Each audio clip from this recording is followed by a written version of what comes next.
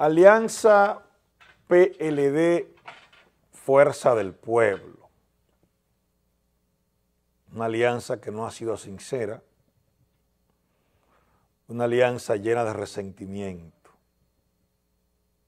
¿Por qué digo esto? Porque muchos municipios no pudieron ponerse de acuerdo, aún sabiendo que uno de los dos tenía posibilidades reales. Es tanto la frustración y el resentimiento que ellos pensando en sus entidades políticas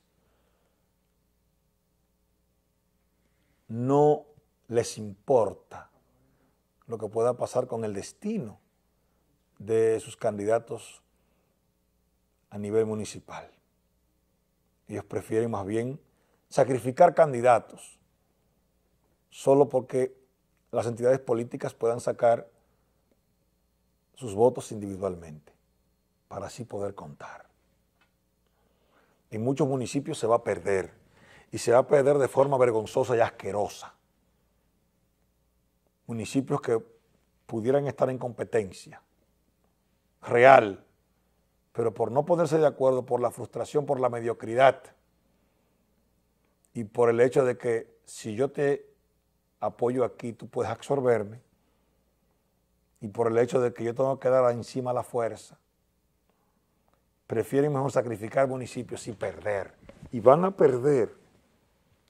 Van a perder en muchos municipios. Porque los municipios que no hay alianza, no hay competencia. Con algunas excepciones. Por en la mayoría de los municipios en donde no se pudo materializar, en donde no se pudo llegar al consenso para hacer la alianza, no hay nada que buscar, se va a perder. Se va a perder. ¿Y quiénes son los culpables? Las cúpulas de estos dos partidos. De estos dos partidos. Y el que saldrá en peores condiciones, ustedes verán que será el PLD esta alianza en tales condiciones no tiene grandes posibilidades. Muchos municipios están divididos, así no se puede. Así no se puede. Así no se puede competir.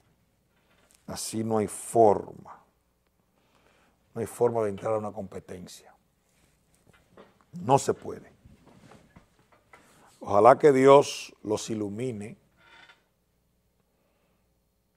y se puedan por lo menos poner de acuerdo en estos próximos días, que candidatos puedan declinar y apoyar al que realmente tiene posibilidades. Eso es lo que debe ser, que candidatos puedan declinar y apoyar al que tiene posibilidades reales. Eso es lo que tiene que ser, es lo que debe ser amigas y amigos televidentes. Lamentablemente así no puede, no se puede hacer nada.